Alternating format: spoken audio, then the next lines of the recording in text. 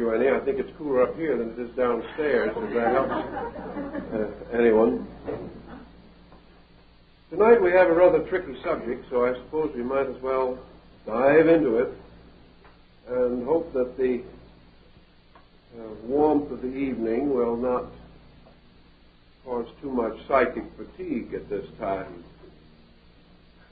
We are working this evening to determine, if possible, the processes of the subconscious mind in relation to man and as I termed it, nature, by which we mean those forms of life in which uh, intelligence is possible, but which are not human according to our understanding.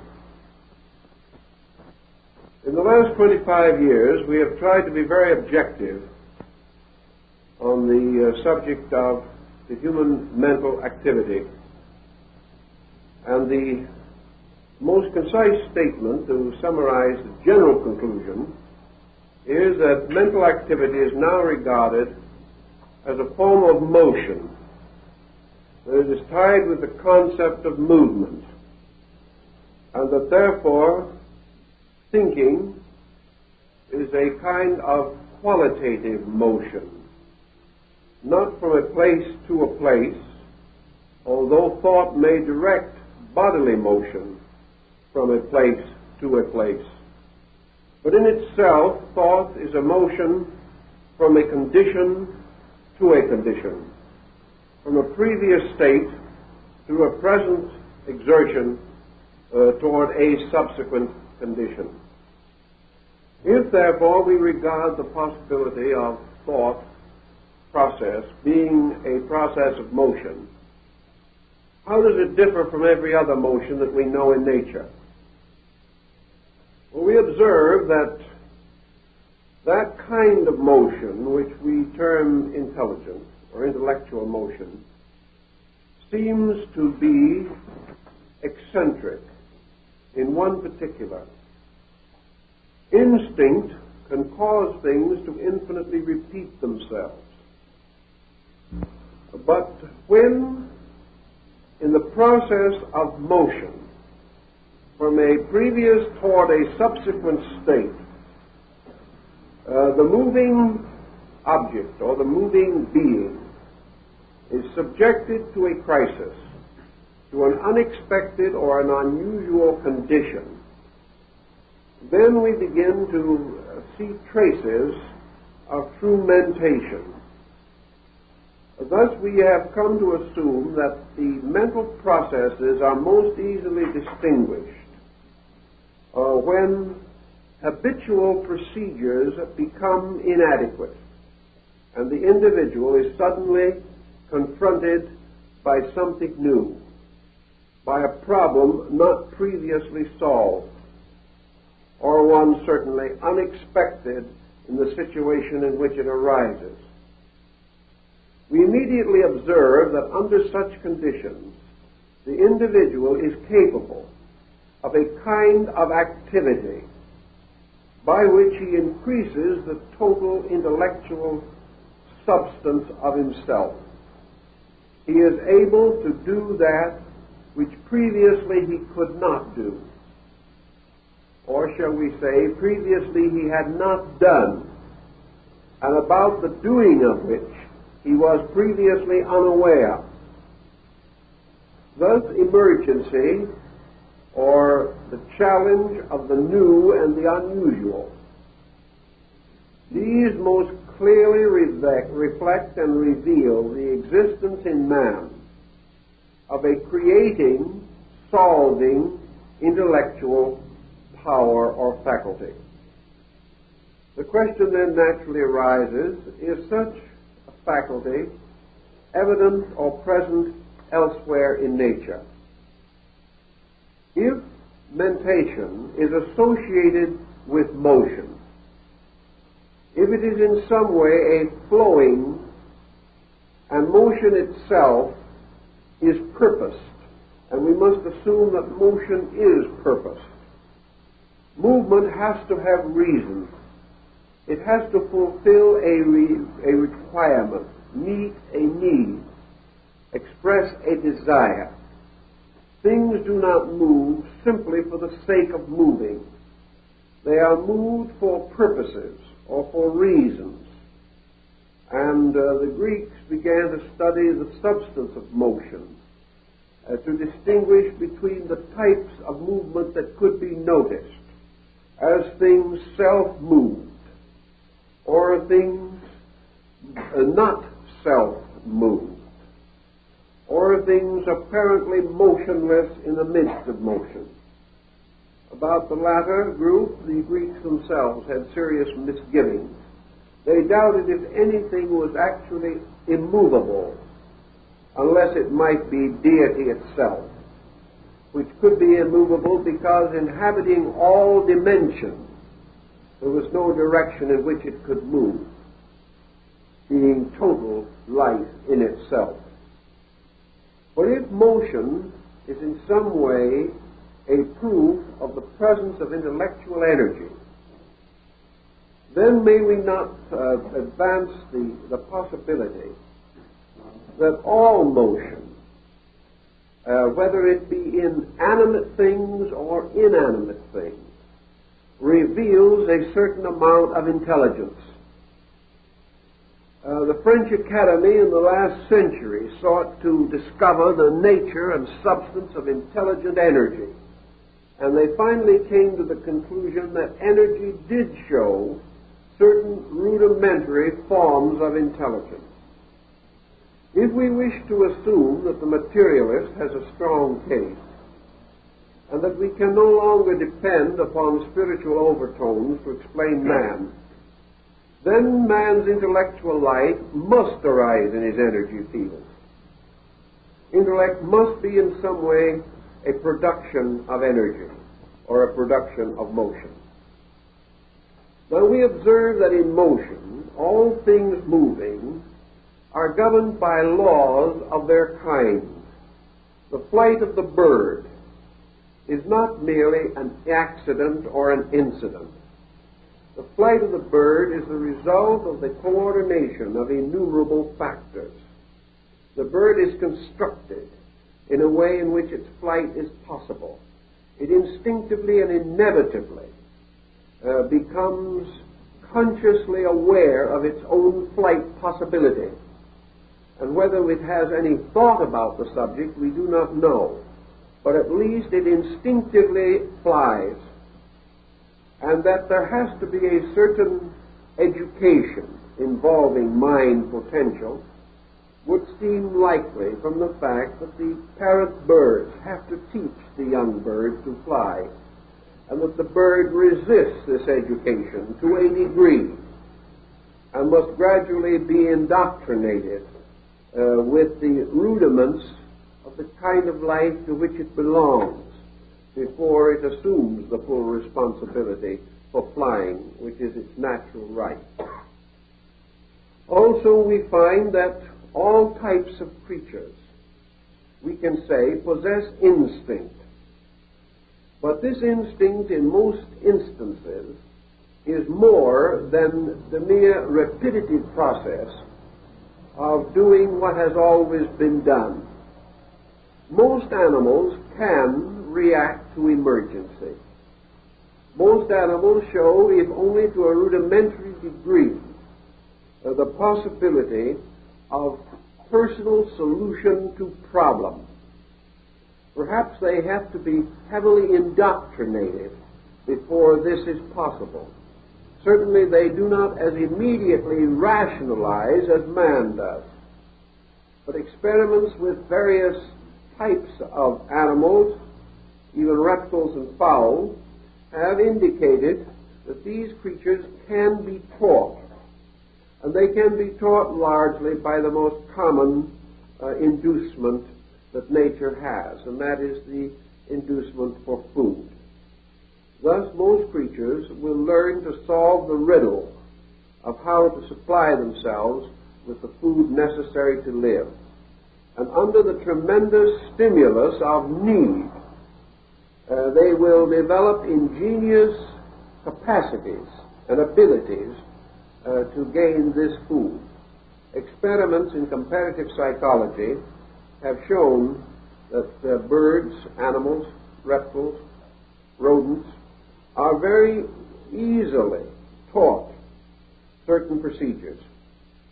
Now, the psychologist points out that while the animal or reptile or bird can be taught, it then establishes a kind of habit pattern and will usually abide by that pattern, lacking originality or lacking the ability to work through the type of equation which distinguishes the human mind.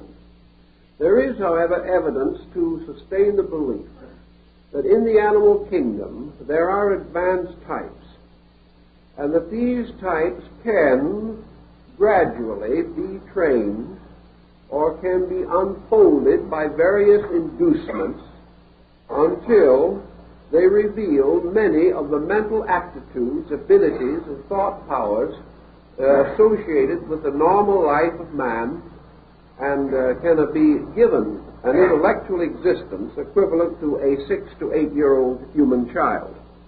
Therefore, we cannot say that the intellectual faculty is entirely absent. Now, when we start working with less animate things, uh, let us take almost any kind of structure you wish to consider. Uh, for example, plant life, which is still, however, more or less animate. But let's go back to minerals and the um, cleavage of crystals. Uh, in this procedure, there is a definite indication of law and order. We would be very unhappy indeed if any of the reasonable patterns of consistency upon which we have learned to depend should suddenly be reversed. The falling object reaching the ground, uh, the experiments of Galileo with the pendulum, uh, the various motions of the heavenly bodies, the inclination of the earth's axis, all of these kinds of things play a very large part in our lives, whether we know it or not. And we would be greatly dismayed if any of these procedures suddenly became eccentric or departed from their reasonable probabilities. We could be in serious trouble almost immediately if water did not consistently run downhill. This situation, however, has to do with motion. Now, what is it that prevents many of these motions from becoming eccentric? Presumably, the interaction of various factors. Uh, these factors working together seem to bind uh, a particular form of life into a structure from which it cannot escape. Actually, however, we have no way of being certain that nearly every so-called lawful process in nature, any consistent methodology with which we are acquainted, any procedure that goes on through the ages, uh, filling us with confidence that it will indefinitely continue. Any such procedure may very well imply a motion with intelligence. We do not know that it does not. We assume that it does not. And we are against another subject of difficulty, even to the psychologist, although he is beginning to sense its implications. The only thing we can seek for in estimating the intelligence of other forms of life is the kind of intelligence which we ourselves possess. It is conceivable that there are other entirely different types of intelligence. That the tests of our intelligence may not exhaust that which can be considered the true expression of intellect. That what we have is a highly conditioned form of intelligence, we know. And as we study it more and more, we realize something else, namely, that gradually what we call intelligence has been conditioned perhaps from an original pattern of instinct. Today, the intelligence of the average human being is not strictly his own. His intelligence is derived from a variety of factors and circumstances moving in upon him. For example, his intelligence might be seriously injured if his memory failed him. And yet memory and intelligence cannot be regarded as identical. What we call intelligence is often merely the folk way of solving a situation or problem. Less and less are we actually required to express individual intelligence. Thus we live in a comparative security resulting from common processes which we share together and about which we uh, have a broad acceptance without understanding. Deprive man of all of these additional outside modifying conditions and block out of him the memory of them, leaving him only with a primordial group of faculties with which to work. And it is quite certain that his reflexes might not be at all what we, uh, what we assume they will be today. Thus, uh, intelligence to us is schooled, trained, and educated. It is influenced by propaganda, advertising, promotion. Uh, our minds are subtly, constantly impregnated uh, with ideas that are not really our own and about which perhaps we have very slight true knowledge. Uh, we see this more and more with the gradual disappearance of individuality. Uh, the great struggle of the person today is to retain his own individual position in mental existence. And he is having ever greater difficulty doing this. He is finding heavy penalizations on such procedure. The easy, the inexpensive, the efficient way to live today is in complete conformity uh, with broad patterns of acceptance. This conformity is not true thinking. It is not really very different from instinct. Instinct perhaps arises in the blood of things, conformity in the experience of things. Instinct may be a pressure from within us, but conformity is a pressure from around us. And it is difficult to say uh, whether instinct or this pressure constitutes the more lawful uh, cause or dynamic behind activity. We must, generally speaking, accept the fact that the average person thinks only in emergency and gradually protects himself more and more against such emergencies as may cause thinking. Thus, in uh, matters of originality, uh, we have always a poverty in times where intellectual energy is not individually developed. We are style conscious. We are habit conscious. We allow other people to make up our minds in almost every detail for us. Perhaps this is a kind of collective thinking, but if so, what does it actually amount to? Is it essentially different from the collective type of thinking which perhaps made certain social existence possible to the savage, and also as instinct perhaps still dominates a large part of the animal and plant worlds. We know that plants have a certain ability to discriminate, to sense value, and that, among other things, they will struggle desperately uh, to reach light, to reach nutrition, or to survive by adjustment to very difficult situations. Thus, survival, in one way or another, seems to drive all things on. And the primary motion in nature is the motion towards survival, towards continuance. It's a will to live Now, can a creature totally without mentation have the instinct to survive? This has been a very moot question. Whether, for instance, the little vine uh, that struggles out of the dark cave and finally manages to throw one feeble branch into the light where it can secure a necessary form of life, does this little plant know that it is striving to live? Perhaps it does not know. If it does not know, is this important? Does the fact he does, that it does not know its own motive detract from the intellectual validity of the action? If so, where does this leave man?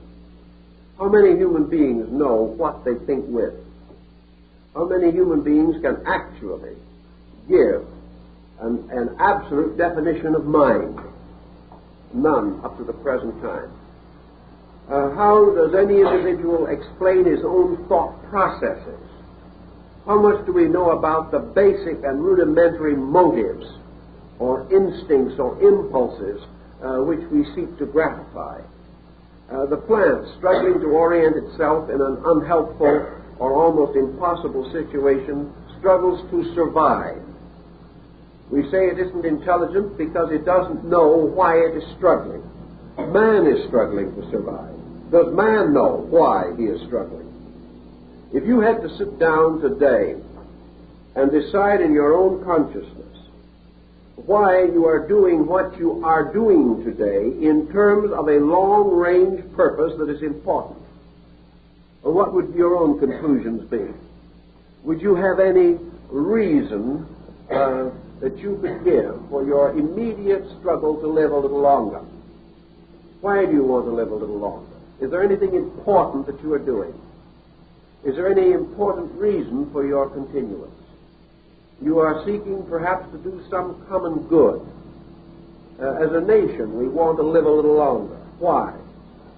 What is the average American citizen's vision of what he can do toward the condition of his country a hundred years from now? Has he any concept of such thinking? Or is he living completely in a series of motions, uh, the substance and essence of which he does not understand very much better than other uh, more primitive forms of life. Man can talk about these things uh, more volubly than any other creature. But having talked, has he said anything? And if he does say anything, does he know what he is saying? These questions affect uh, psychological thinkers and by extension philosophical thinkers because as yet there's been no way of successfully uh, differentiating between psychology and philosophy and we sincerely hope they will never find one because without philosophy to, to give it purpose and meaning uh, psychology will never solve the enigma of the human mind with which it is so profoundly concerned. The ancients were not aware of our utilitarian perspective on things, uh, but they also had certain essential concepts which they held to be valid. Uh, to ancient man, particularly I'm thinking of the uh, classical Greek culture at the moment, mind uh, was a kind of psychic entity mind was a being. Mind was not merely a condition of physical energy. Mind was not a byproduct of function. Mind was a superior kind of creature inhabiting a body. The Greeks represented this in several ways. They conceived at the root of things the existence of a universal mind. And this universal mind they regarded, if not as deity, at least as one of the primary attributes of divinity itself. The universal thinker was the demiurgus, or formator of the world, A universal mind moving from itself accomplished all of the works of creation purposefully. These works were according to the mind of God, according to the will of God. There was at the root of all life intellectual purpose. The nature of this purpose might not be immediately available to man. It was not given man that he could read the mind of God, but it was given to divine mind that it could know the workings of the parts of itself. Therefore, while man could not fully understand God, God, representing the totality of mind, could understand or accept or differentiate, uh, rationalize concerning the infinite diversity of creatures within its own substance or composed of its own nature. Thus, a mind apart from matter, uh, but forming a partnership with matter under certain conditions, uh, was to a large degree uh, the classical man's approach to the psychological problem. And uh, as we go on today, digging more deeply into mental phenomena, we are becoming more conscious of its profundity, less inclined to regard it merely as an incidental part of physical phenomena. Even the modern psychologist of the Western school, who is not particularly given to abstractions, has become amazed and intrigued at the dimensions and proportions of the mental universe. He is discovering, for example, that whereas he thought the physical world was a great and wonderful place with almost infinite opportunity for research and consideration and, uh, unfortunately, for exploitation, he has discovered that the mental world, as it is unfolding to his consciousness today is infinitely greater than the physical world. That it has infinitely greater potentials. That instead of it merely being uh, a fragment of something, it is far more complete, far more all embracing than the physical life with which he has previously been concerned. It is now dawning upon him more and more uh, that physical existence is the consequence of mind in action. Instead of the mind being a byproduct of irritation and the cerebral nervous system, um, what we call mind is really the cause of the nervous system. That behind physical matter is this tremendous impulse, a rational, reasonable, conscious impulse that this impulse projects body. That evolution is not the growth of form, but the growth of mind through form. Uh, that growth is not really merely the expansion of body, but the unfolding or ideating of energy. That the plant that is unfolding its leaves is bearing witness to flowing energies. That everything that we have previously regarded as purely physical is suspended from a life principle. And psychology has become intrigued with the possibility that this life principle is best understood as mind. Unfortunately, however, we are at another impasse.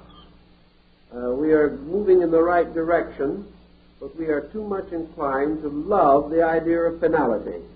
Each new discovery we make is ultimate, and we have to reform and revise our thinking periodically. Even though we finally lift the veil of matter and discover mind, we must yet lift the veil of mind because we certainly have not come uh, to the end of our search for these sovereign realities that are at the root of existence. Mind explains many things, but the more we ex- uh, explore mind, the re- more we realize we need something else which will explain mind. At the moment, we're not too concerned with this because we're having too much trouble and too much excitement analyzing mind. But by degrees, we come into the uh, continuous realization that mind can also be sick.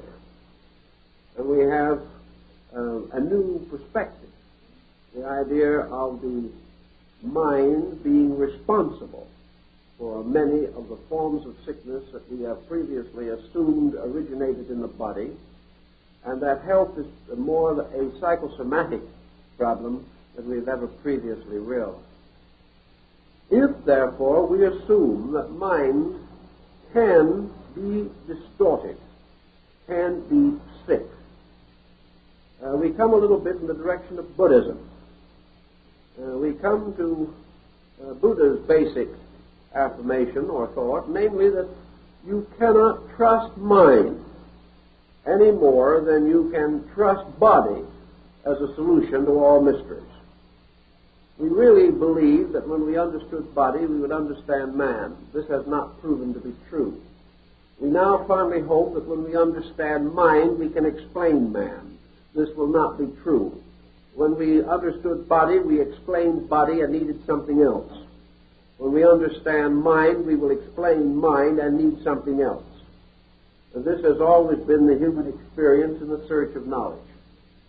Actually, at the moment, we are already beginning to sense that mentalism as a science, that this science of attributing everything to mental phenomena, is beginning to weaken, that it is already showing distinct indications of insufficiency.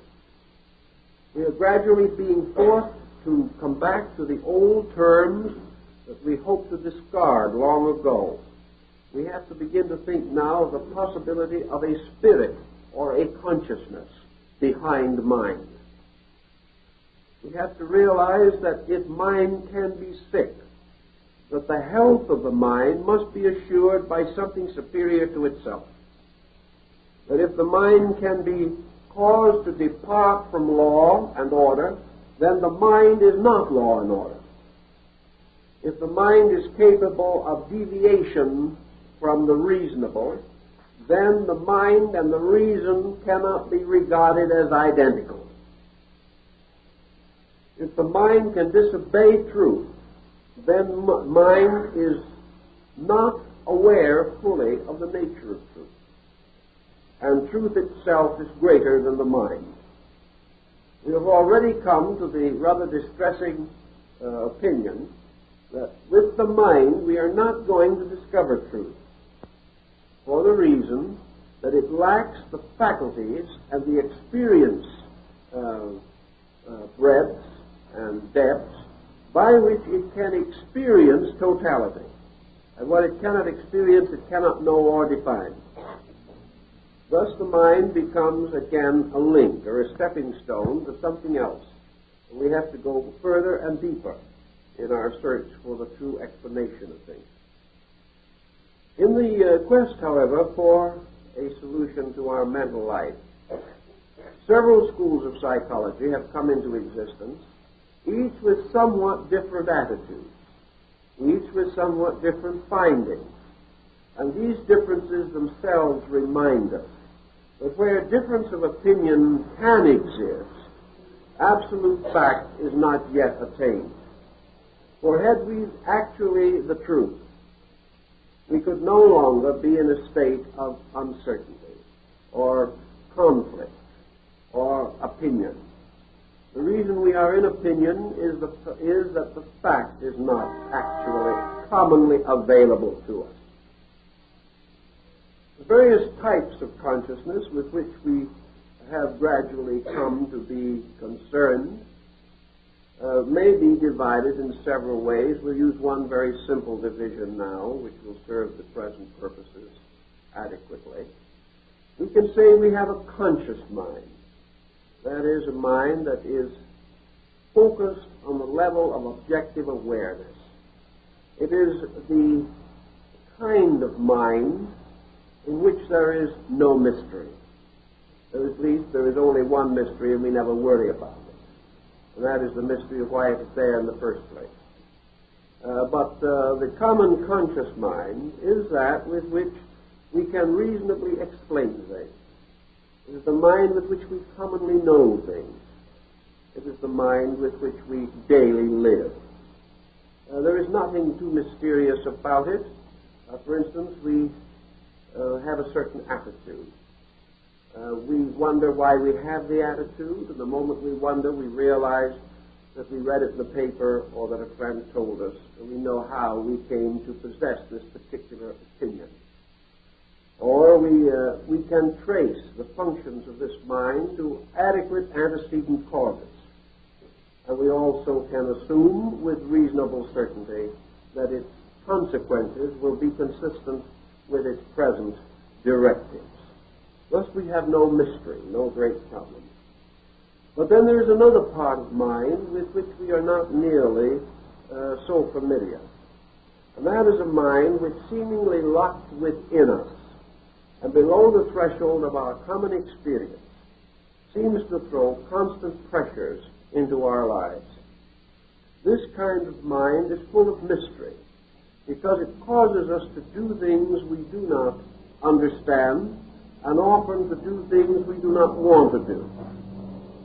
It contains within itself depths which we cannot easily fathom and frequently results in temperamental personality uh, problems which almost frighten us.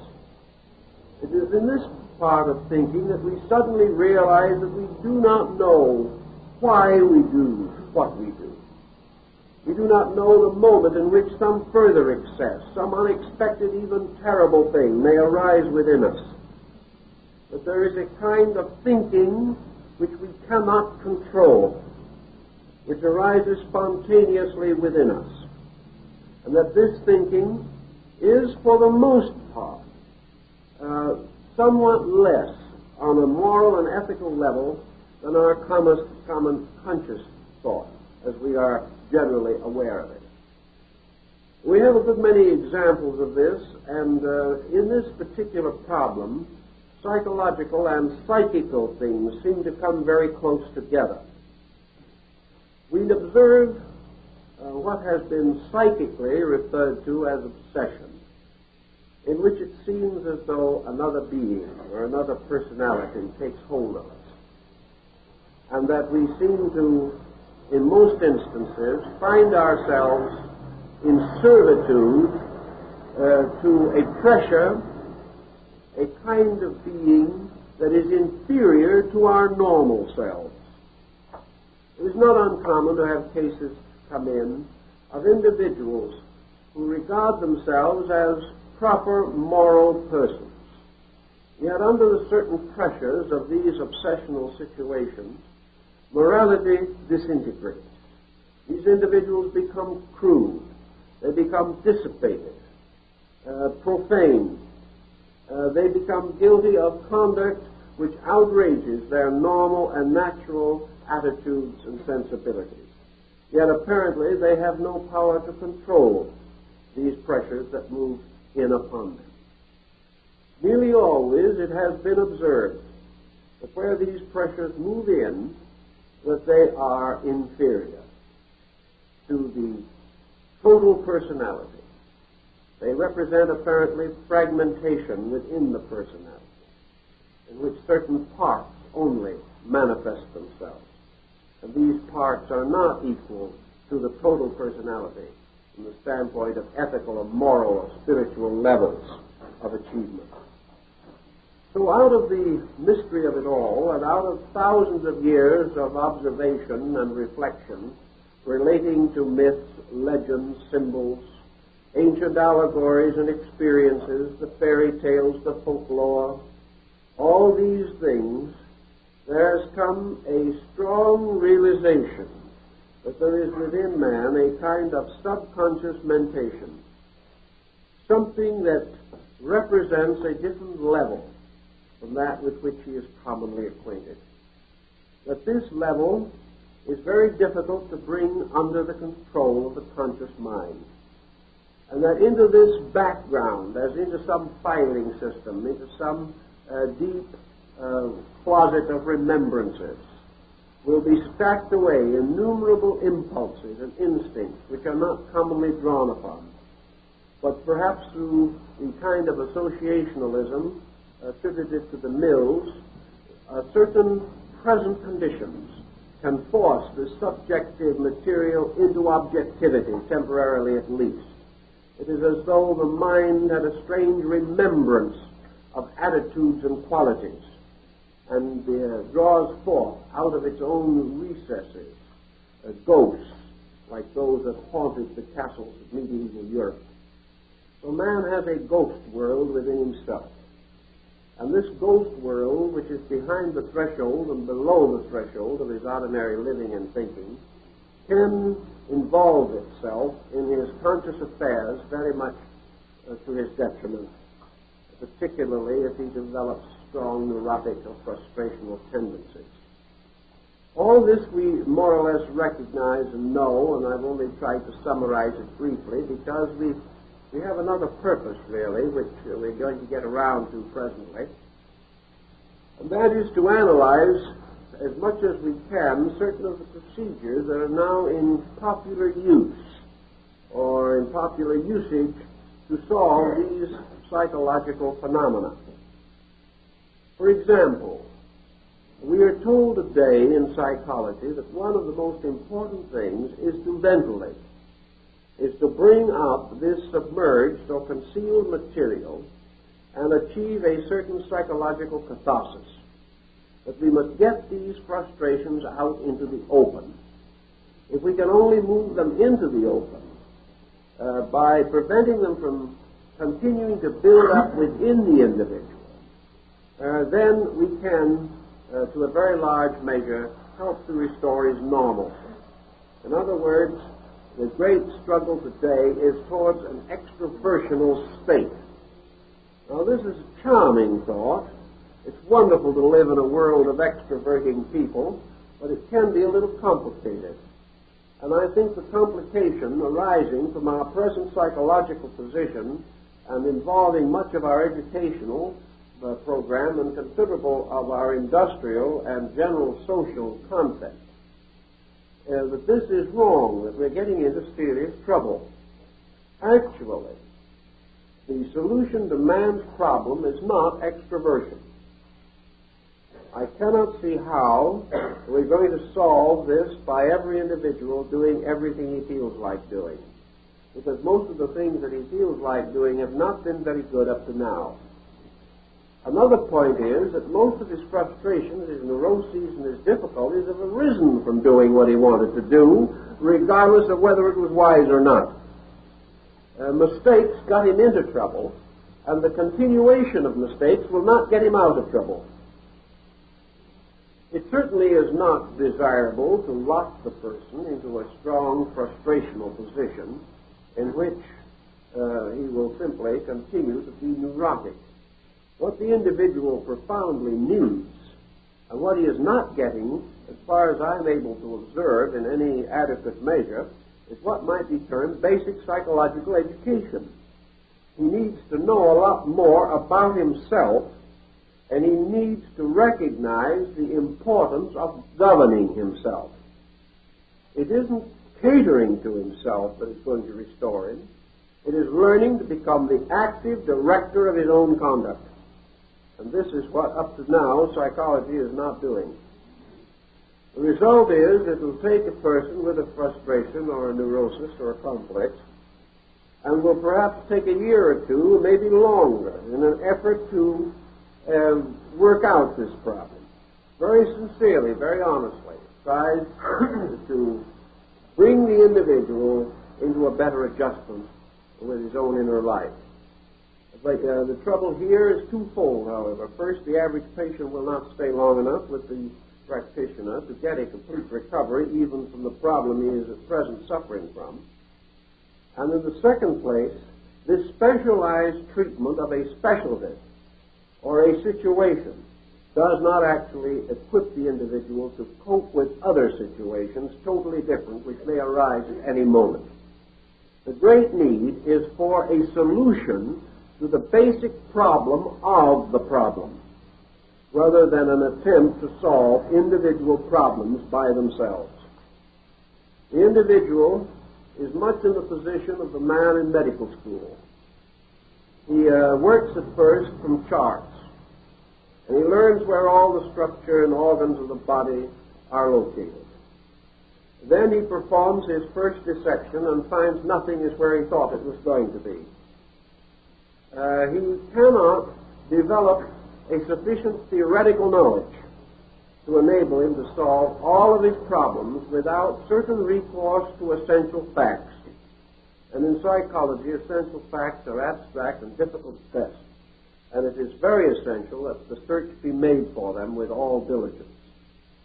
When the child, for example, uh, is being brought up under the new psychological attitude of being a complete extrovert, the family is no longer able to endure the child.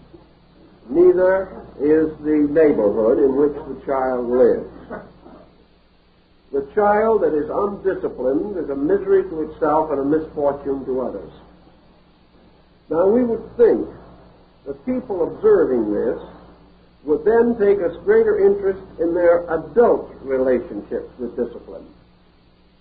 We would begin to suspect that mature persons would say to themselves, the good life is the disciplined life. It is not important that I gratify every impulse and every instinct that I have. Because this program of constant and continuous gratification is habit forming. And when it is continued long enough, it destroys all determination, all inclination, all regard for discipline. Today we are gradually becoming one of the least disciplined people on earth. And as a result of that, our resources in emergency are strongly affected, in this case adversely.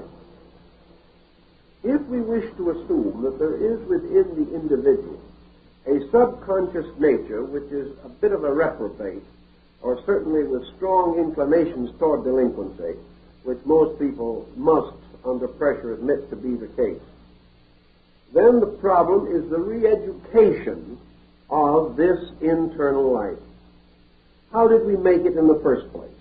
How did we get an interior nature full of frustration and full of negative circumstances? The materialistic psychologist will tell that one of two causes had to be responsible, either heredity or environment. The hereditary factor uh, is open to considerable consideration and discussion. Environment, perhaps, can be regarded as a strongly modifying uh, factor. In fact, some schools are satisfied merely to base their entire case upon the importance of hereditary modification or direction of conduct.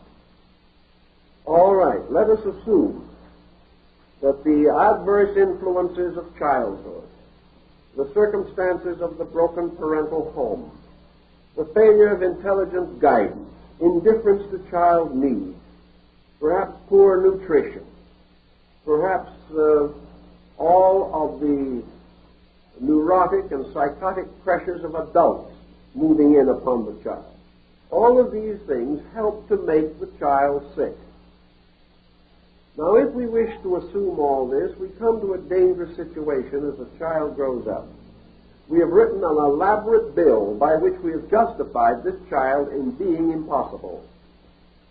We have made it obvious to the child that its conduct is not its own fault, that it is a victim of circumstances, that it is rather well headed for disaster, in spite of anything it may do. There is, of course, the prevailing possibility that if this child, now grown to adulthood, and being the victim of his ancestors, is willing to further be a victim, but to the tune of several thousand dollars for therapy, he may in time work out of this ancestral complex. It may take him years. He may have gone through many tragedies before he even discovers that such a correction, correction is indicated or possible. I am quite convinced that in our philosophical system of thinking, our basic understanding of man, that this procedure is not sound. There are cases where it can be used effectively. But to trust the entire hope of the final mental normalcy of our race upon this concept is not wise. We've got to get into this matter a little further. I think the Chinese have a good deal of information to give us. If, for example, a child can be adversely affected by environment and be conditioned by forces moving in upon it, the adult in later life can, in various ways, affect its own internal life in the normal and proper courses of living. If wrong attitudes have made us sick inside, right attitudes can assist us to correct this sickness. Now, we were not made sick under the supervision of a physician. Our bad attitudes were not carefully calculated for us. We just accumulated them, gratifying our own habits and attitudes and desires. Actually, therefore, the correction is not necessarily a matter for a trained person. The correction is the individual's ability to recognize his own faults and do something about them. He knows more about himself than any other person can know. It will require hundreds of hours of analysis for a good psychologist to find out as much about an individual as he actually knows himself if he is willing to admit it. I've talked to a great many persons in trouble who blame their condition upon ignorance. But when you sit down and study through with them, the average person knows what's wrong with him. He also knows why he's in trouble, and he knows it's his own fault. These things he does not want to admit under normal conditions, but in professional relationships he will frequently admit this. This being an admission which he will make and can make, his remedy and his correction lie within his means.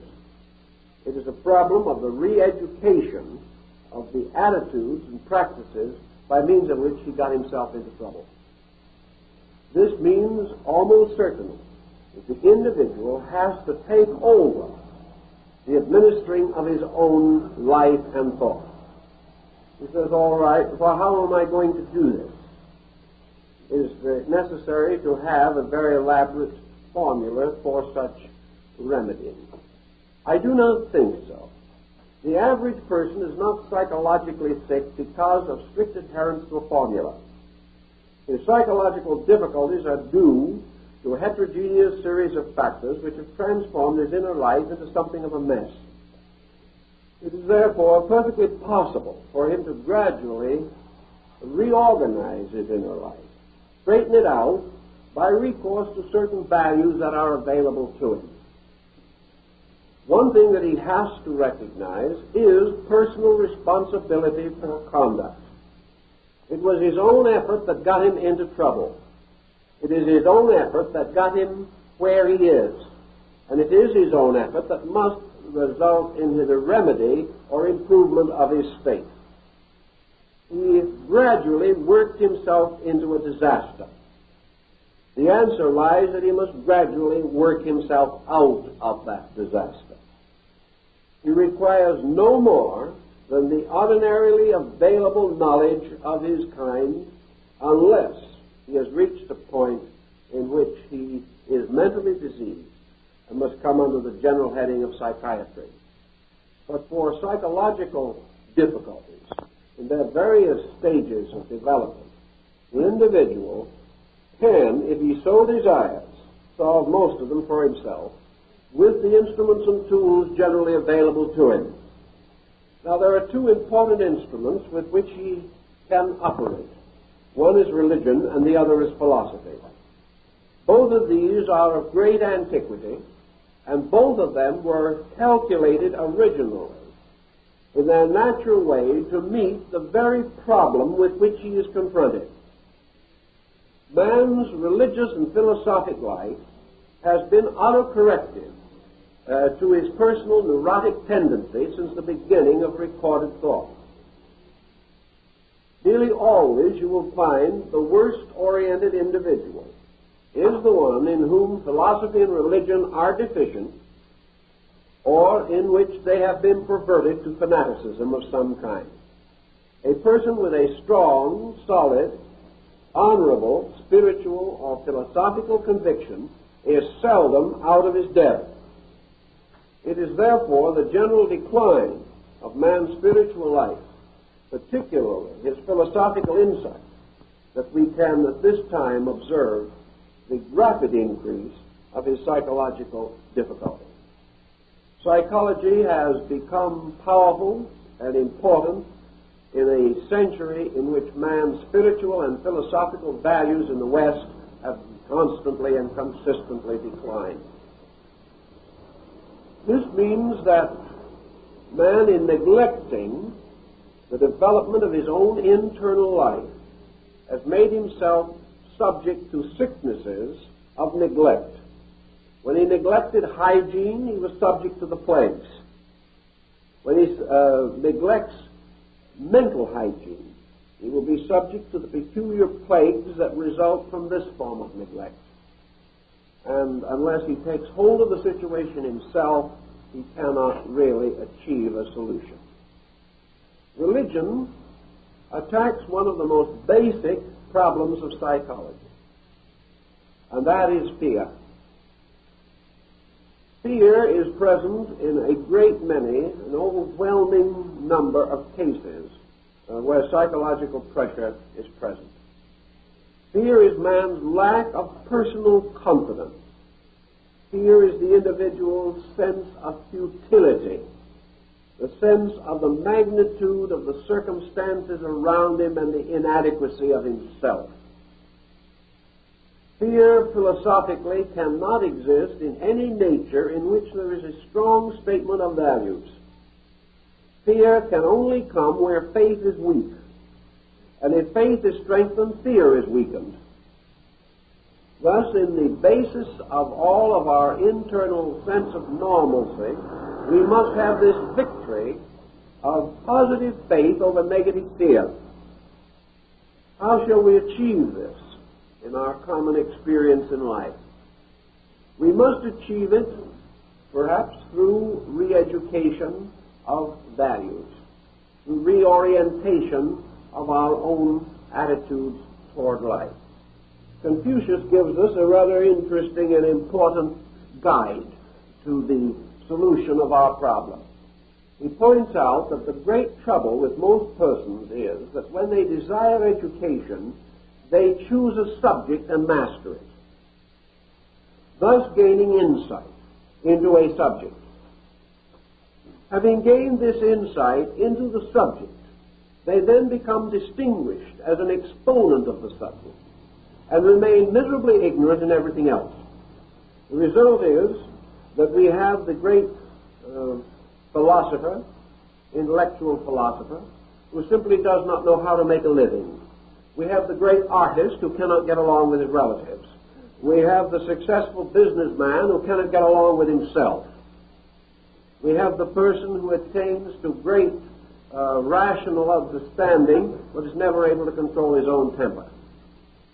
All of these eccentricities, these inconsistencies, are the result of the individual attempting to master subjects instead of attempting to master his own relationship to life. Instead of mastering a particular theme, it is first necessary for him to master the principle of learning.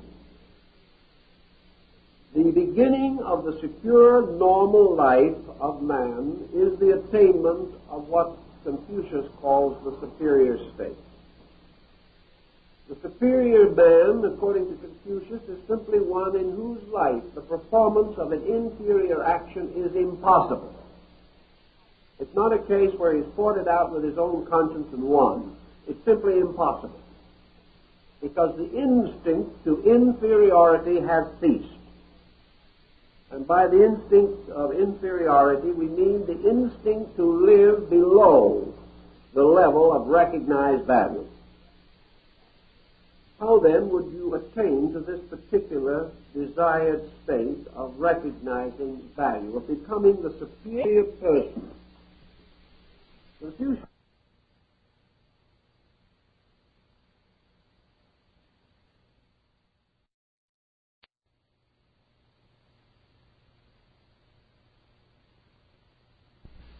It must be through the real pleasure of pleasing to do these things.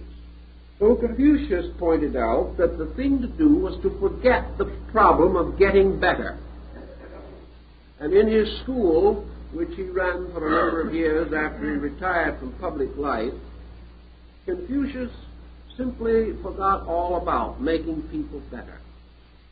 Rather, he taught them to enjoy themselves doing good things. He taught them to enjoy writing good poetry. He taught them to enjoy riding horseback well.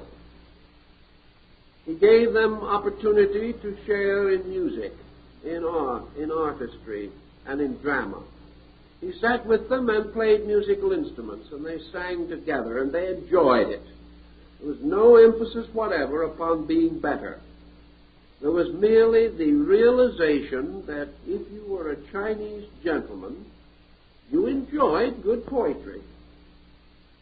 And so, being desirous of being a gentleman, certainly, you enjoyed good uh, poetry. At first, perhaps you knew nothing about it, but gradually, through familiarity, you did learn something.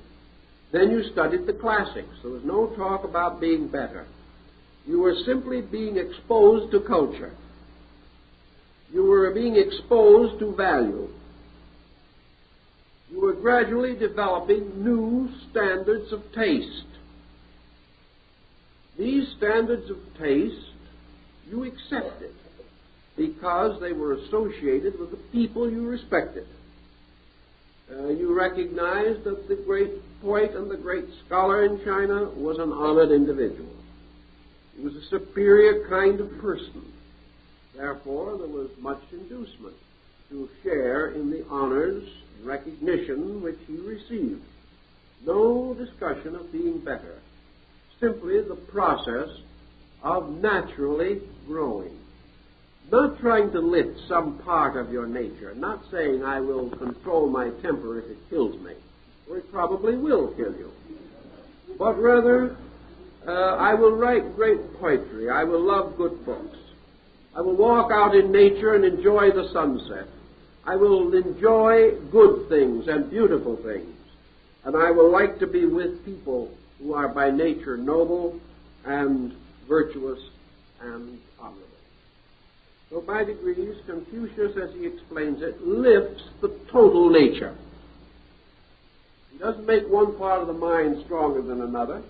He simply lifts all of the consciousness until the individual becomes a little ashamed to do things that are not consistent with his new appreciations, his new values. He finds it a little more difficult to be dishonest if he truly loves beauty. He finds it a little more difficult to be unpleasant if he really wishes to be regarded as an admirable person. And by degrees he grows. He overcomes these negative qualities simply by inviting himself to a larger understanding of life. He simply does the things more and more adequate, which he has a desire to do.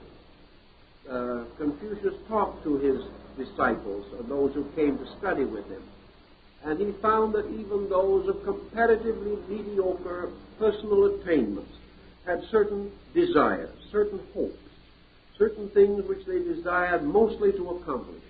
One of them wished to be a good horseman, and uh, this was what was emphasized. Because in horsemanship came sportsmanship. And as Confucius pointed out, a man who is a good horseman respects his horse.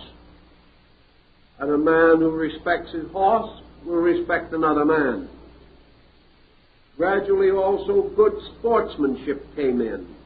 And the man who believes that the best rider should win the race will also believe that the best thinker should have the office. He will also believe that merits become more important. He will not be envious of those who succeed, but will rather try to fit himself to succeed because he understands the principle of good sportsmanship. Thus, in various ways, the individual raises his general attitude toward life.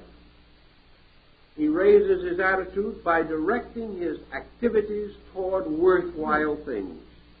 Most neurotics have no worthwhile activities.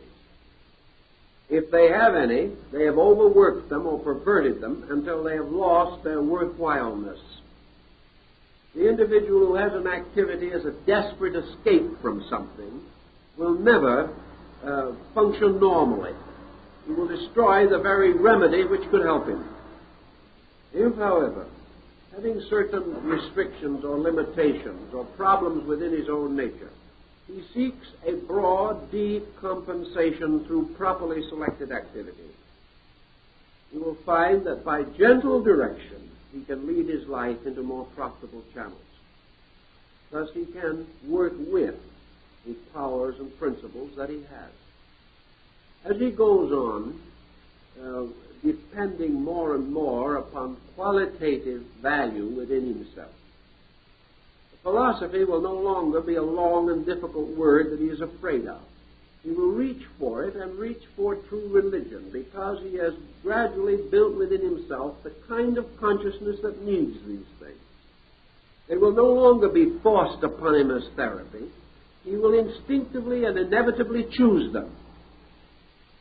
As his own nature, Uh, under a certain broad directive, is given an opportunity to unfold according to its own laws and principles.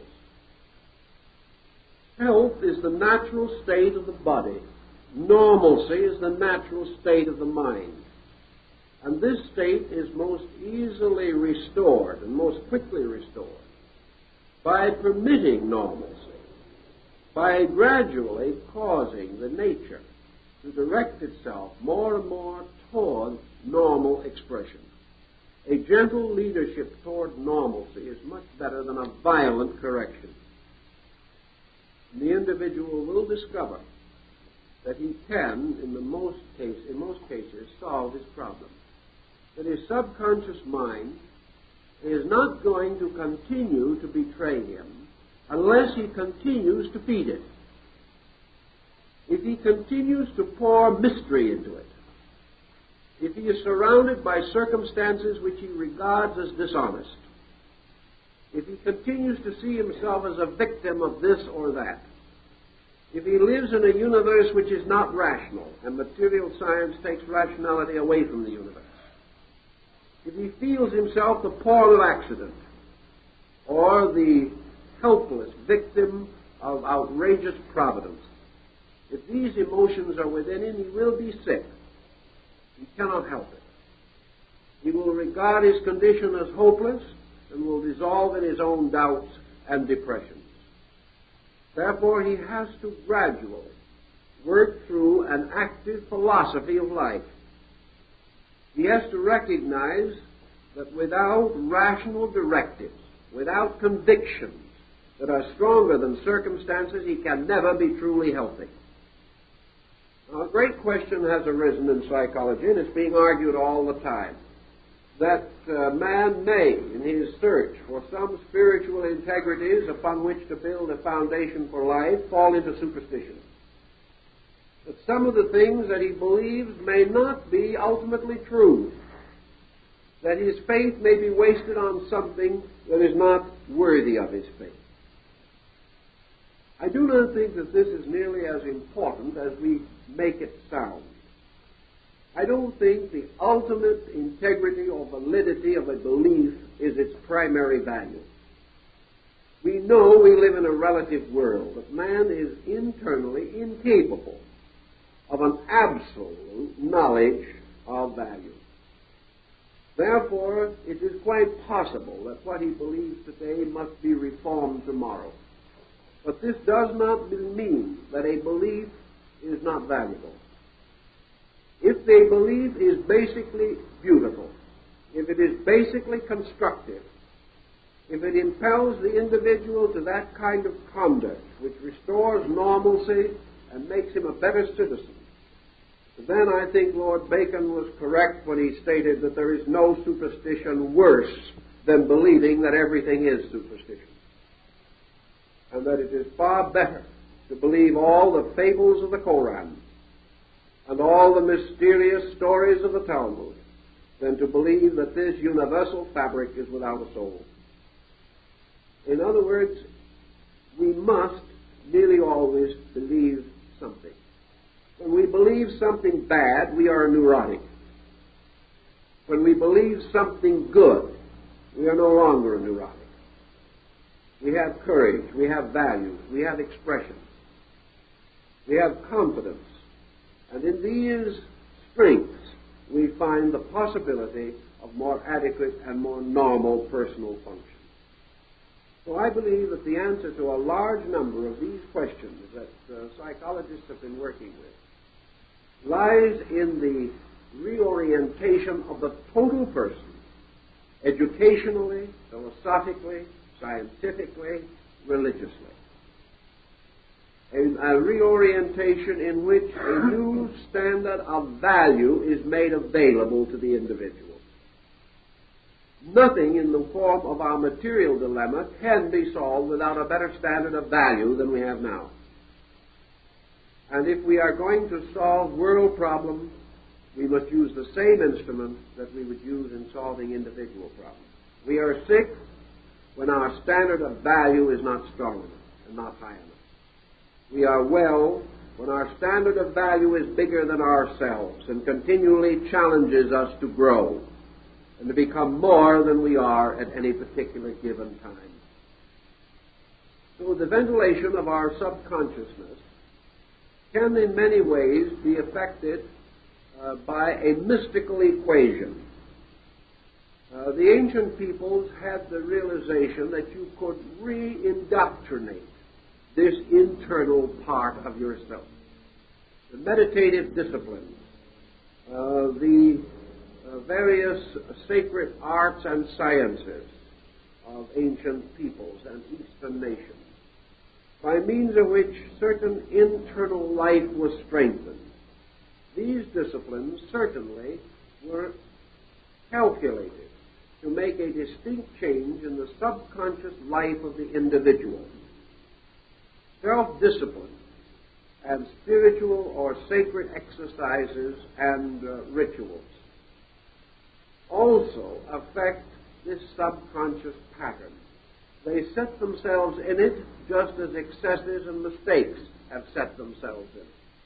They strengthen the internal life, and it is quite possible that there is a wonderful power by means of which man is capable of completely redeeming and regenerating his own internal life. Perhaps this is the alchemistical transmutation of base metals Man does not have to go on being a neurotic indefinitely, nor does he have to depend upon a mechanical formula which may or may not actually meet his needs. Neurosis is a challenge. The moment the individual is unhappy, there is something wrong with his mental and emotional life just as surely as the moment he is sick, there is something wrong with his physical habits or his physical economy.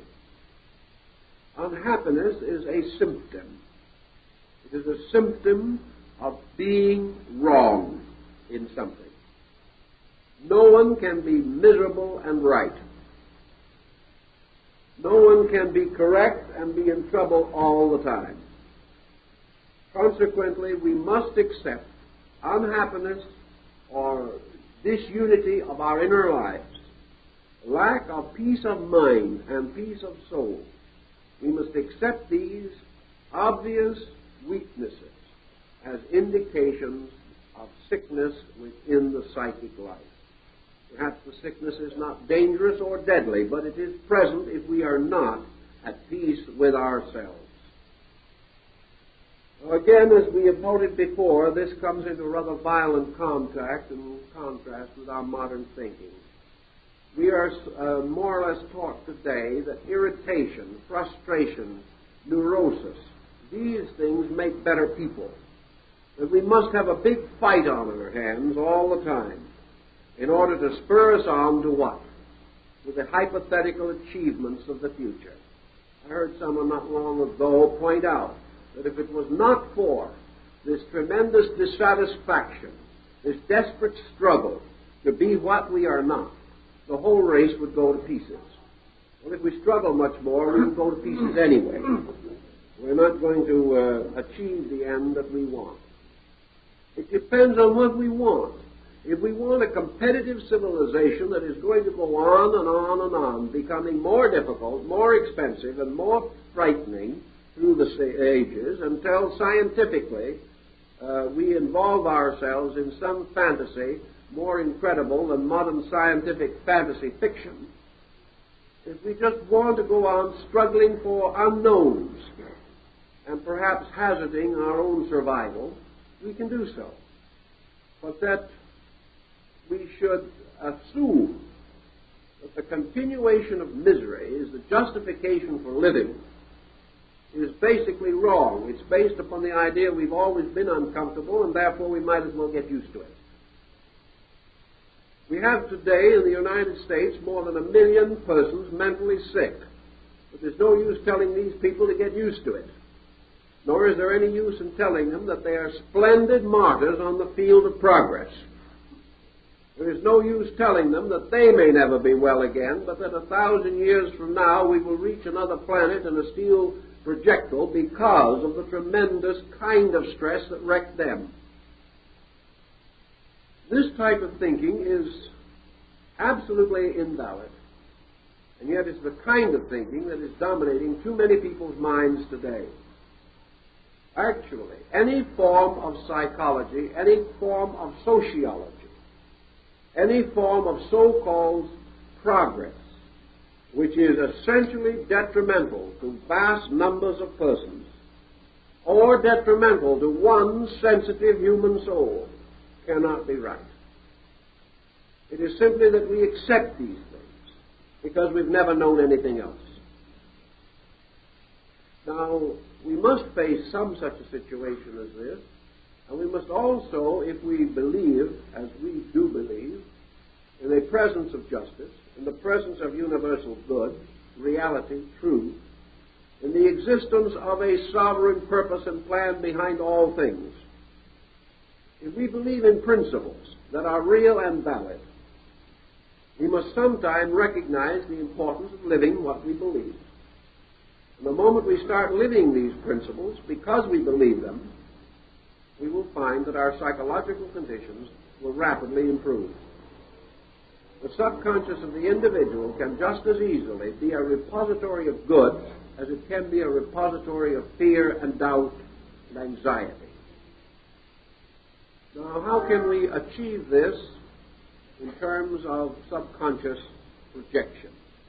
Again, the Taoists of China have a very interesting concept, and that is the possibility of the visualization of a transcendent state of self.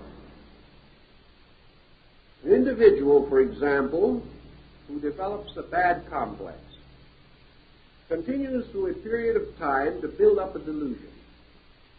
That delusion, finally taking over the subconscious form of, or nature of his being, forms a kind of entity in the psychic field.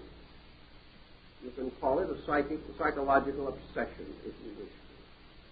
It may not be the kind of demon that they talked about in the Middle Ages, but it certainly exercises a demoniacal force upon the person who has permitted himself to build up this psychic parasite in his own nature. If, therefore, a person can build a negative entity which can ultimately destroy him, is it not also possible that the subconscious mind of man has a purpose? That this purpose is not merely to make him suffer. That the subconscious mind of man is also the greatest potential source of growth if he can cause it to retain certain values that are essentially right. Thus, the re-education of the subconscious can be conceived as possible. The Chinese believed that it was done by means of visualization. They believed that it was perfectly possible for the individual to internally visualize himself as he should be, visualize the values and purposes and qualities of his true life. In other words, visualize his true self visualize himself much in the aspect of Emerson's oversoul. Visualize himself as a divine being, a being living at peace with all things, a being dedicated to the service of good, a being existing and abiding continuously in the presence of the divine love and the divine will. That this being is a sacred and immortal self within man, the transcendent self, that God self. But this God self is also accessible to man. That this God self can be created in the subconscious just as easily as the demon self. Just as surely as the individual may gradually come under the obsession of a tyrannical part of his own subconscious, so he can come also, as the Sufi and the Dervish and other mystics have found out, come into the presence of a magnificent, illumined internal subjective. But this subconscious life of man is also a magic garden which he builds within himself, that he transforms and transmutes his own subconscious by filling it with beauty, understanding, love, and piety. That he gradually also creates within himself an inner life in which he can live that he builds out of this psychic nature a kind of magic garden like that of the troubadours. That here in the courts of love he can abide in a spiritual communion. His inner life, instead of being a madhouse, becomes a cathedral, a chapel. And as going into himself, he finds there peace instead of confusion. Gradually, this internal self becomes an archetype, a leader, a leader in the direction of positive growth. And the uh, so-called subconscious mind of man then almost becomes a superconscious structure. It becomes the basis of his courage rather than of his fear. It becomes the basis of his growth rather than of his sickness. And the way in which this change is accomplished is through the establishment of the nutritional habits by which the patterns are cast into the subconscious from the conscious. If these things must come out, they must first go in. And that part of our consciousness which is due to experience moves from the outside in and then from the inside out again. If, therefore, we move from the outside in constructive and idealistic value, and that takes up its repository in man, this in turn moves out once more into objectivity as a source of inspiration rather than as a source of fear or doubt or sickness or destruction. It is not, therefore, necessary to assume that this subconscious must always be burdened with difficulty. Now, the problem of the subconscious brings with it another equation, and that is the possibility of the existence of a collective subconscious namely that there is in the universe itself a stratum which corresponds with each of the individualized functions or powers of man. It may therefore follow that if there is a conscious mind in man, that this conscious mind is derived from part of the conscious mind of the world. If there is a subconscious mind in man, that this also reflects or reveals in some ways the subconscious mind of all nature And that from this subconscious mind of nature, man uh, receives impressions or impulses from archetypes, or from the great plans and patterns of life. Let us then assume what we have to assume, namely that man's mind, conscious, superconscious, subconscious, unconscious, whatever department we wish to consider, that this mind is not uh, primary but secondary and that behind this mind is something else, which we might term consciousness, or perhaps more correctly, being. Certainly, Buddhism would not permit it to be regarded as consciousness as we know it, but rather a state of inevitable and eternal existence. If then there be a source in man, or by means of which man is brought into awareness with natural cause, with archetype, with divine purpose, or the oversoul of nature, as may be implied from archetypal dreams and archetypal experiences of one kind or another. Then it would appear, as Dr. Jung points out, that this subconscious mind is like a deep pool, and that occasionally something will break off at the bottom of the pool and gradually float to the surface, and that the pressures or circumstances or forces long and deeply hidden may come up gradually to our awareness from deep sources previously unsuspected. Therefore, we can assume, if we wish to, or at least suspect, that there might be something in the subconscious content of man other than merely the consequences of his own mentation. Assuming that there is a strata that is really a constant circle, vicious or otherwise, of his own mental psychic operations, perhaps there is something else. Perhaps the lower, deeper, and innermost parts of the subconscious are in some way connected with or associated with a still deeper and more recondite level of natural existence. Perhaps there is a divine will or a divine plan that impresses itself upon the deeper parts of man's consciousness, particularly the subconscious or unconscious parts of the psyche, and by so doing gives man an awareness of spiritual extension or an awareness of cause beyond his normal human, human capacity. We cannot say that this is not true. We can say that there are instances beyond question of doubt in which something superior to the purpose of the individual was impressed upon him through archetypal dreams. We may assume, of course, that this superior thing is a part of his own nature, a higher and a more divine part, uh, which he perhaps never contacts, contacts except uh, through the phenomena of the subconscious or unconscious minds. Perhaps only in archetypal dreams does the will of his own total being become known to him symbolically, emblematically, or figuratively. This is conceivable, but uh, perhaps does not essentially change the, the major pattern with which we are concerned. This pattern has to do with the general perspective which we have toward life itself. Let us assume for a moment that the subconscious or inner part of ourselves, below and behind the threshold of consciousness, as we daily exhibit it, is older, deeper, and in many ways more valid than consciousness. That consciousness is merely a manifestation, a small part of this deeper thing coming to the surface of our awareness. And that for every moment of consciousness, man has a tremendous power of unconsciousness, which is not vacuum, which is not absence, which is not darkness or negation, uh, but a state of a spiritual existence below the threshold of our definition, something that we cannot immediately cognize.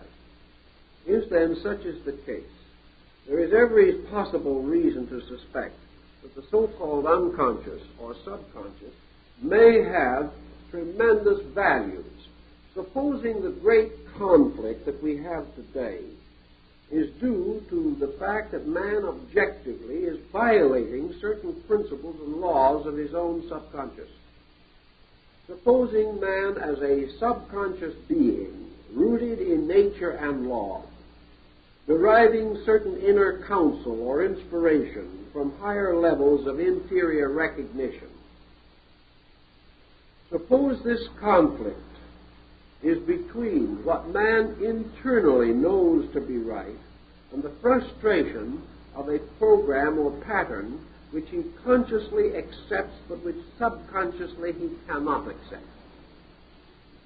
Is it possible that our trouble today is that our external life is simply not acceptable to our internal understanding. That we are gradually divorcing ourselves more and more completely from our own internal.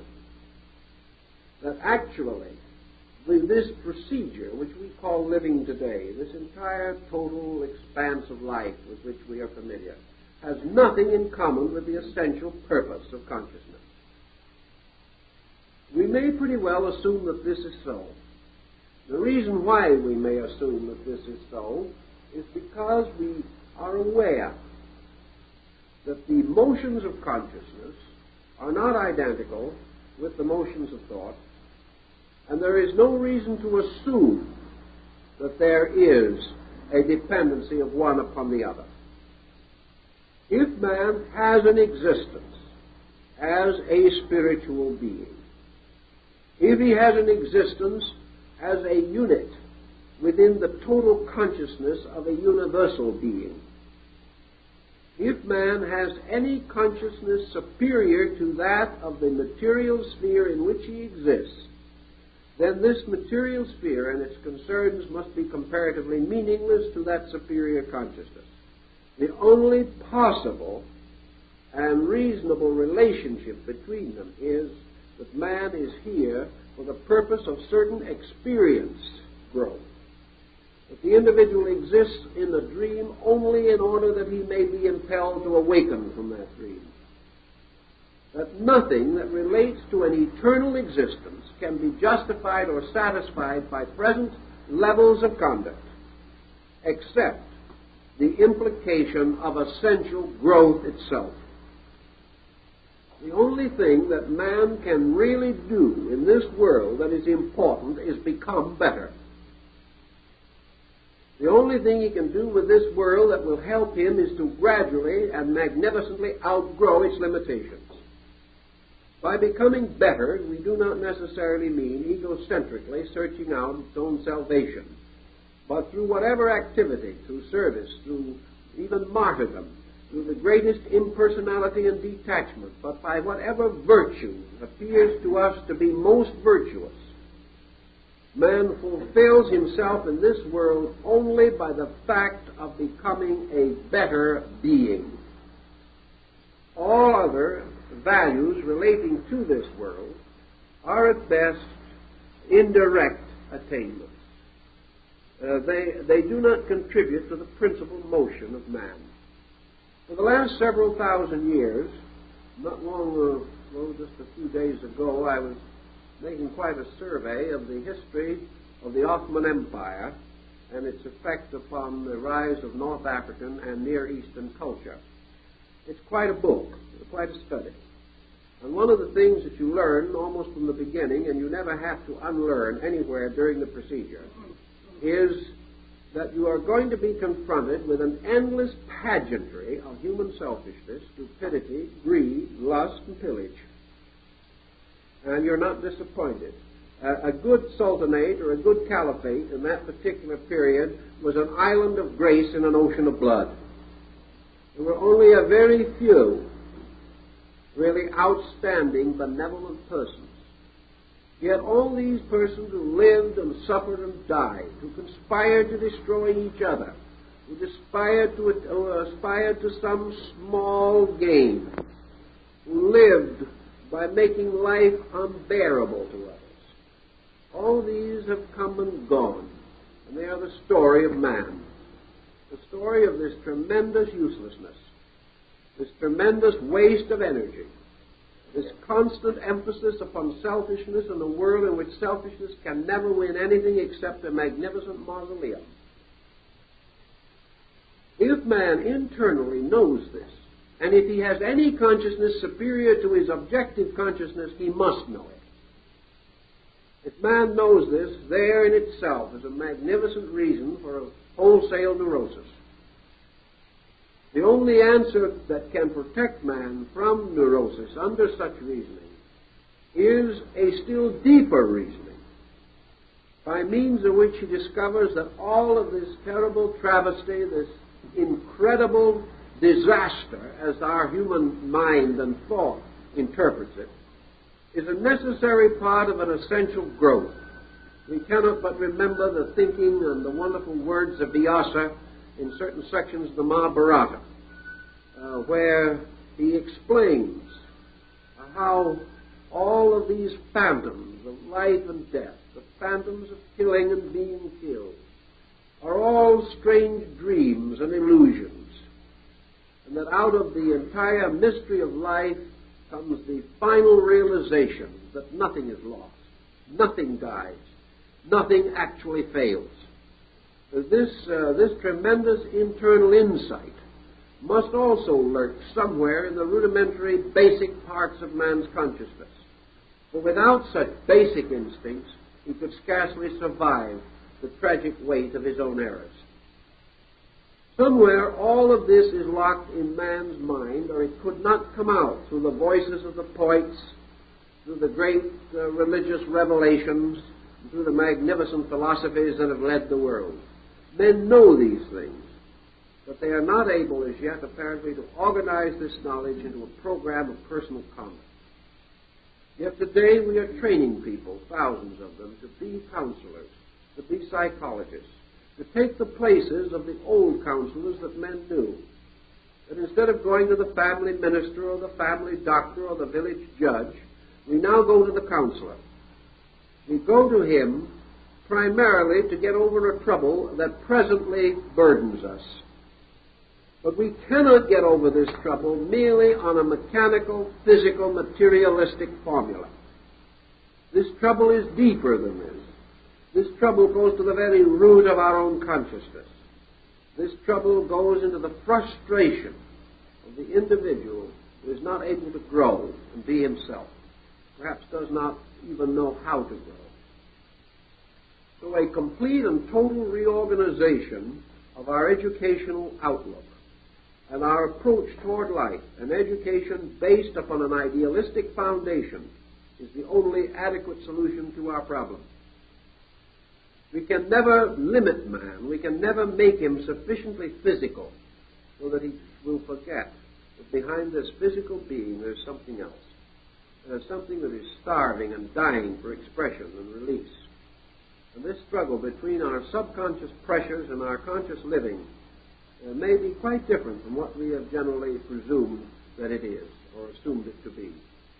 But this conflict goes into uh, the deepest stratum in which uh, is locked, perhaps, the only real knowledge we have, the knowledge of our own purpose and destiny. This is not consciously available to us, but is unconsciously present as an equation.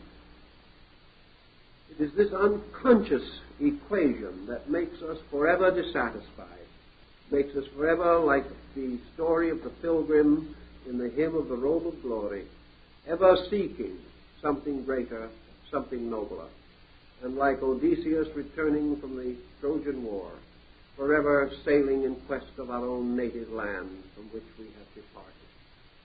This search for home, this search for spiritual value is always a search within. And this search within now takes us to the threshold of an infirmity. And perhaps this infirmity tells us most clearly what is wrong with us.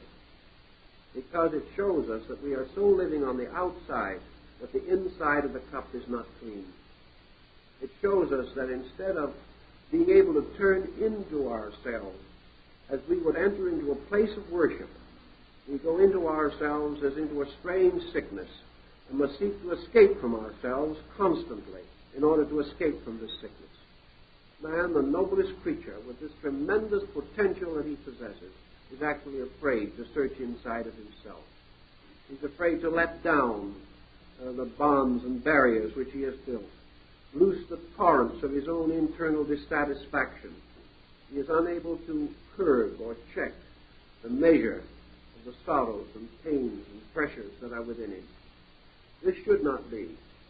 And psychology should be among the first groups to work with this particular equation.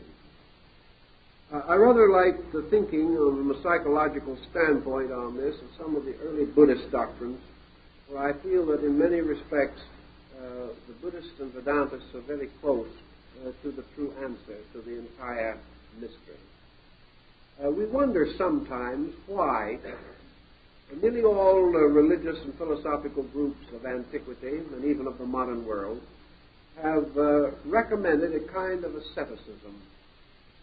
we wonder why they advocated that their disciples depart from worldliness and seek uh, quietude in the deserts or in monastic orders or in convents or places of seclusion. This idea of giving up the world.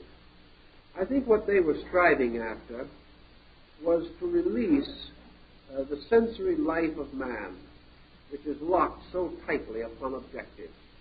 As long as man thinks, lives, and feels in terms only of things around him, he will never escape from the vicious fixation in which he is captured. He is going to constantly be the victim of this vicious circle. He will never be able to turn with relaxation to himself. And he will never be able to enter into himself and find there anything uh, that is pleasing to him, while his inner life is loaded only with the reactions of his physical intensities. Most of your great mystical teachings, your Sufis, dervishes, Druzes, many other sects, have emphasized that as man relaxed the pressures of externals, he at the same time became capable of living with himself. The moment he was not fighting things on the outside, the spirit of war died in him. The moment he was not under the pressures of jealousy and greed and fear and doubt and worry, when these things ceased, his inner life became immediately more placid. Quietude, quietude then came from the relaxing away from the intensities of personal attachments and interpretations. In our Western way of life, these intensities are increasing every day. And attachments, of course, can be those of negative fear. I've received a half a dozen letters in the last three months of individuals in a state of complete terror over the possibility of atomic warfare. These people are frightened to death. They are not uh, going to wait to die naturally or supernaturally from the bomb. They're going to kill themselves in the meantime. Uh, they are completely terrified at the possibility of the destruction of themselves by this form of warfare. Yet these same persons are comparatively indifferent to the fact that if there is no bomb at all, they will also destroy themselves. Bomb or no bomb, they're going to be in trouble. Because the fear they have of the bomb is merely a redirection of a fear that they have previously had in everything. Fear will destroy them, not the thing which they fear. And while an individual fears, he is never sure of life, and he is never able to release his own internal into a state of security. It is quite possible that the individual may uh, sometime be faced with great physical crisis.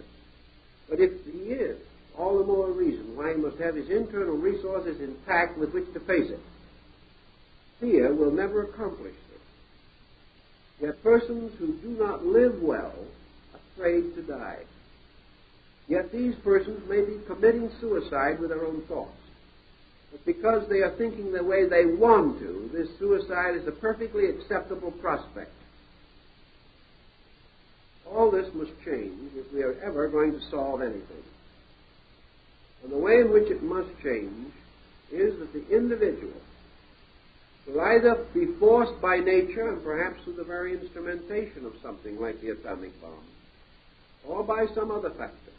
Man will be required by nature to break away from his unhealthy over addiction to phenomena. He will be shown by nature that he cannot invest his happiness all in external things. He cannot depend for his existence upon success, as he calls it. He cannot be satisfied only by those things which belong to his own external life. As long as he is willing to trust himself to the fate of externals, he will rise and fall with these externals. He will be impoverished every time the stocks go down. He will have a momentary flurry of exultation every time they go up. But whether they rise or fall, he will ultimately destroy himself, or he will pass out of this life impoverished because his mind has been on the wrong things. Psychology should teach us to reintegrate around standards of essential value. Should teach us that once we have integrated our inner lives, we can then administer any external thing with reasonable security. It is not that man has to give away everything he owns and become a mendicant. It is that the individual must have value within his own nature. And having attained integration integrity in himself, he can use all the privileges of living without abusing them. He can solve the problems of material society because he has integrated himself. But without this internal integration, he cannot survive any of the shocks or stresses which naturally come to him. Consequently, it is possible, in fact, very reasonable to assume that man's subconscious mind, which has been plaguing him, is also a plastic substance, which, if it is properly molded, will be the heroic shape of strength within himself. That which is the fear demon is also composed of the same substance as the hero of the world. Man's heroic self can also be internally visualized, built, strengthened by uh, an understanding of the laws governing the power of mind and memory. The subconscious, therefore, can be gradually transformed into the powerful directive which moving out into his external life will put it in order.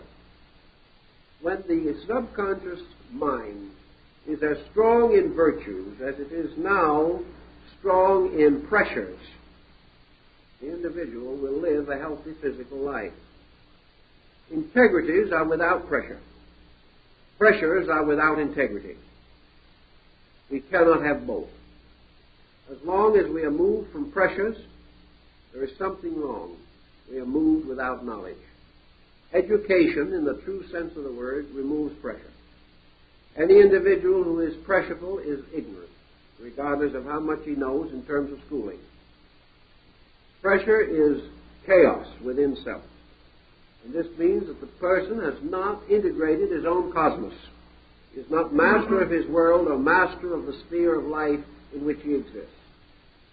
All these things uh, tell us, as the Zenshu points out, that man's mind is performing tricks on him. The mind is indeed the possible slayer of the real. The mind is indeed one of the most subtle of all instruments. It is part of the power that still works for good while ever scheming ill, as Mephisto says in Faust. The mind of man a wonderful servant and a horrible master. The individual who gradually gains achievement or victory over the various doubts of his own intellect will find mind a wonderful instrument for the accumulation of experience. But until this mind is honest, until it accepts experience without distortion, until it records facts without prejudice, until it escapes from bondage to ignorant superstition and fear, until it is honorable in its registering of values, and there's no longer merely catering to the weaknesses and insecurities and immaturities of human nature. Only when it is mature can it serve man. Now, the maturity of the outer mind is not possible maturity does not lie in the objective consciousness of man, because this consciousness simply records. This consciousness is now. This consciousness is the kind which gives us the records and evidence of immediate happenings. The present consciousness of man deals with news, as the press tells us. The subconsciousness of man deals with history. And the difference between news and history is rather obvious. All news is gradually becoming history. All history has become news in some time or other. But the important thing is that history is a pattern. It is a consecutive record of news. It is news made moral by reflection. It is news made spiritual by the revelation of the effect of cause and the cause of effect. It is news, therefore, brought into something that can be philosophically examined for the purpose of, of contributing to the well-being of the individual now. If Adolf Hitler had really studied history, he would never have permitted himself to be a dictator. It is news that the conscious mind records. In the subconscious, this news becomes history. It becomes the basis of philosophy. It becomes the basis of contemplation and reflection. In the subconscious, we have the records of the consequences of things we have done. And we are constantly being plagued by the proof that negative attitudes can only destroy. We have therefore much to learn from it, much to gain from it, if we use it wisely. But if we continue to drift in our old accustomed ways, permitting ourselves whatever excess of thinking may come along at the moment, and then run merely to the mental physician in time of emergency, we will be in almost continual emergency. Uh, we have, uh, to a large degree, conquered the ailments of the body. There are a few that still must be conquered, but we are beginning to suspect that those that have not been conquered belong to the sphere of the mind, and that is the reason we have not previously been able to conquer them physically. We believe that many uh, ailments, difficult to diagnose, difficult to prescribe for, are actually psychologically bounded within the conscious life of the individual. In any event, we are gradually going to work out diagnosis and therapy on the level of mind. We are going to gradually be able to take care of certain problems of the mind with more efficiency, more understanding, more wisdom than ever before. But just as surely as we do this, we are going to develop a new group of ailments. They are not going to be physical and they're not going to be mental. They're going to relate to something else. They're going to relate primarily to the interval between man's conduct and the universal law in which he exists. There's going to be finally a group of ailments that will be corrected by only one thing, and that is man's voluntary obedience to the divine plan of which he is a part. Also, man's voluntary dedication to self education until he knows what that plan is is going to find that the end of religion is to obey the law. Is going to find that the end of science is to find out how to obey the law completely and efficiently.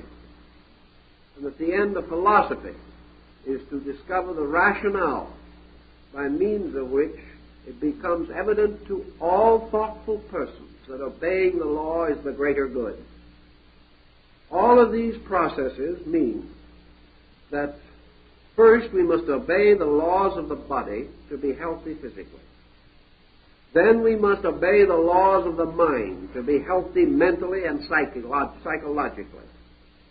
Then we must obey the laws of the infinite, which is beyond these other factors, in order that we may have total adjustment with consciousness. Now, it might seem that these laws of the infinite are a long way off and represent a further state of development far from our present condition. But these three steps are present every day in our lives. Each one of us must obey certain physical laws now in order to remain healthy, and obey certain other physical laws, such as those of traffic, if we wish to remain alive. We must also obey certain psychological laws. We must obey those laws which have to deal uh, with certain repressions, certain frustrations, certain inhibitions.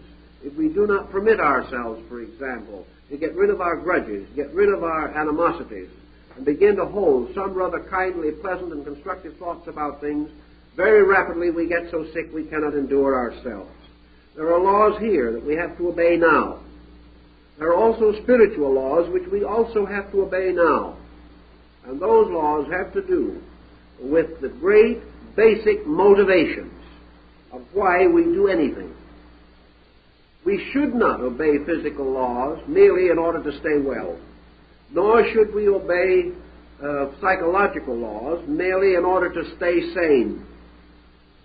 It is our privilege and our magnificent opportunity through our understanding to obey all laws for one value beyond all of this, namely that these laws reside in the love and wisdom of God and that to obey universal law is to prove that we love and respect God, and that we do these things not for fear of punishment, but, nor hope of reward, but because it is natural and proper for the human being to worship the Creator and the great creating power of life in which He exists through the simple obedience to the will of that Creator, who tells us through His revealed saints and prophets, if you love me, keep my commandments. And this is the basis of health, that we are good and are wise and are noble. Not because we primarily wish to be healthy, but because we wish to be right. Because we wish to worship truly the creating power of life. And if out of this power and determination to worship, if out of the natural love of God we do all things well, then whatever other needs we have, psychologically, emotionally, and physically, will naturally move to their own solution. If we search first for the kingdom of heaven and its righteousness, all other things shall be added unto us. And if when from right motive we keep the rules of life, we shall then, as a byproduct of this right motive, enjoy health, happiness, and peace of soul. These are the things we should be learning.